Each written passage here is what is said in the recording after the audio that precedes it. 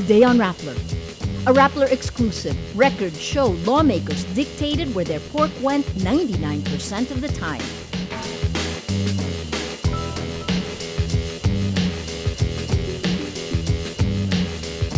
Sex for Flight victims demand government action against their abusers.